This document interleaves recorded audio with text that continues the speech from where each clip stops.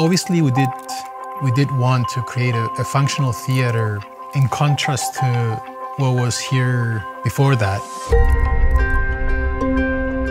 The whole philosophy of this house is to, to be not a clear cut between a space and another space.